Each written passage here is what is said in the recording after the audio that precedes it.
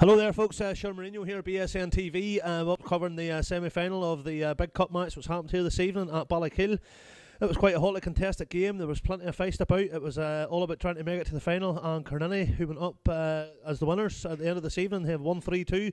I have with me here a gentleman who, uh, it's a pleasure for me to have him on live or on with BSN TV.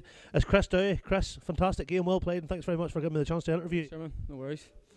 You enjoyed the game? Ah, not really. First 20 minutes we done alright. Got the early goals and then we just seemed to think the game was over and we'll stop. But fair play to Mixon. They came back in and you know, they done well. Right enough, Chris, you was rock 3 1 there and then back to 3 2. The, ga- the game was a wee bit hot there for. I'm sure you were on, on the cusp for 20 minutes now. Right enough, a, a victory's a victory. Ah, well, we defend it well at times and at times we, we let them in. They could have maybe nicked another one to equalise, but lucky enough we held in. Uh, certainly, no. Look, you know, at the end of the day, you make your own luck, and uh, your your one was offside there. You were, I actually thought you were onside. The referee called it offside, and you finished it beautifully.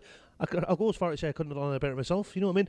But uh, no, as far as the finals concerned, that will be next Friday night, and that, I think that's out at uh, Michelin. And uh, uh, depending on who you get out of that game, will be seats. That'll be a challenge, Chris. For you. He's been looking to get some before the end of the season. Chris, we're having no silverware this year, you know, and having been champions for five years. Obviously, uh, uh, without being, you know, uh, obviously it's not the Carniny mark. You know what I mean? Carniny want to try and get some before the end of the season. This is a chance to get it. You should be going all out, Chris. Oh, I definitely. Like, it's it's unheard of. We're currently not winning any cups. You know, this, when was the last time Well, certainly, but Chris, as an old Carniny man myself, I can't remember. But that doesn't mean to say that the spirit isn't still there and all and whatnot, you know. But uh, you know, that you should be going all out to try and get it. And you're beginning your all, Chris, for maybe the last game of the season. We'll have to. We'll have to.